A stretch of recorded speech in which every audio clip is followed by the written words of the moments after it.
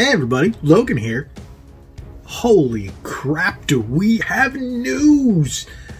So the Xbox Series S has finally been revealed.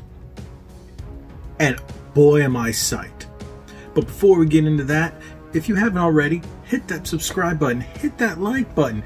Help us, we're moving, we're chugging on forward. And if you want to help us out, head on over to our Teespring.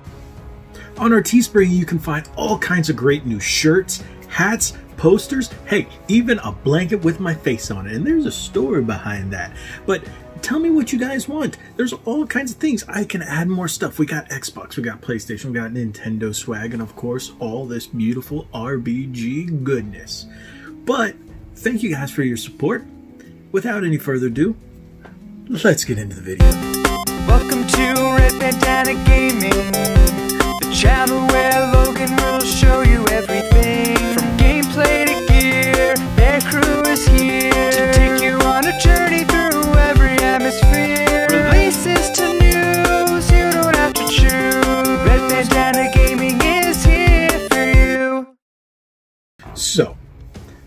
last night, a leakage leaked from some dude on Twitter. I don't remember what his name was, it didn't matter to me. I didn't believe anything I saw. I was like, yep, another one of these. Oh, he's got insider information. Look at this picture. Didn't believe dang thing. So, when the official Xbox Twitter tweeted out, it was pretty much real. I went, how about that? Then I started taking things seriously. And then I finally saw this trailer. Oh, talk about blowing me away. If I wasn't psyched already for the Xbox Series X, having the Series S, there's something about it that makes me go, ooh, where I like the way it looks better than the Series X. I I don't know what's the with the big circle vent and for I, I I get it. Cooling. Cool. I get it. But it's just weird and I like it and I can't wait for it and I'm gonna get both two Xboxes. Now this may cause a problem. So it looks like uh, we've got Xbox coming out November 10th. Woo! Finally, we got a release date. So there are more rumors circling around that this is going to be $299. If this is 299 and the Series X is either 399 or 499, that's a lot of money. Uh, that's a lot of money in one shot. And with the PS5 coming out a few days later, speculated. I don't know how this is going to go. So that's a that's a that's a lot of money for any one person to spend one night grabbing two Xboxes and then two PlayStations later. That's a lot. Mm, uh, now it creates a, a decision. I, I'm sure this is going to create a decision for a lot of people. Which version of the Xbox do you get? Which version of the PlayStation you're going to get? So me, I'm probably going to get both Xboxes and that might just delay my purchase of a PlayStation 5. It's possible. I have to think that over. Are you guys battling with this? Are you guys contemplating this issue too? Let me know. Maybe I'm not the only one who's deciding.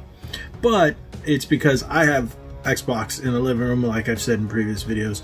I have the Xbox One X uh, out there and the Xbox One S here in my game room where I do a lot of the the, the game capture and stuff, and I do have Game Pass. So the fact that I have Game Pass, the Series S is looking very nice with 1440p and the 4K upscaling. Mm, mm.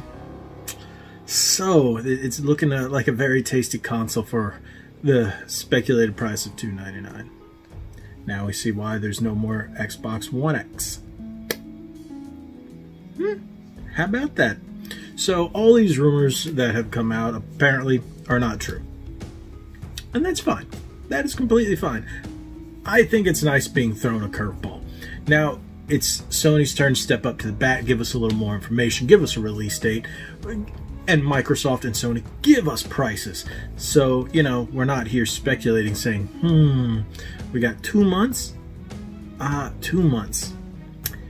Two months during a pandemic to save a thousand dollars if not more that's going to be tough That's why the Series S might be the one sell for everybody. For anybody looking to get onto the next gen bandwagon, you get the Series S for 300 and Game Pass. Come on. All this next gen goodness for super cheap. Smart thing they got going there. This could this could definitely do it for the Xbox. But you know, we've still got time. The future has remained to be seen. No one is a psychic. You can't predict the, the console wars. So we'll see. We'll see how this goes. And uh, thank you guys for watching.